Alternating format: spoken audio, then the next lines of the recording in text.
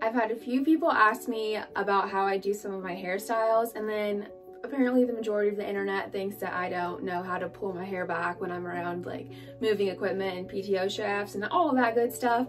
So I just thought I would do this super quick little hair tutorial for you. All you need is some hair ties and hairspray. I'm really good at this. All right, so to start this twisty braid off, you're just gonna take one little hair tie and pull roughly half of your hair back, like so. And go ahead and tie that back.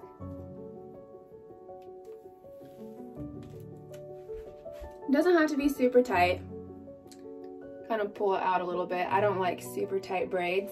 And then you're just going to create a hole in the middle put two fingers through your thumb and your index finger, and then you're gonna just pull that through.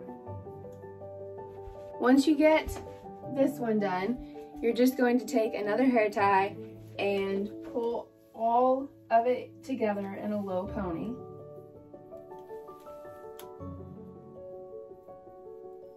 And then in between the last hair tie and the first one, you're gonna do the same thing where you create a hole and just pull that through. All right, and then I just always pull it to this side, grab another hair tie, and then about two inches down from the last hair tie, I put this one in, maybe. And then same as the above, I just create a hole, twist it through. And I do that two or three more times.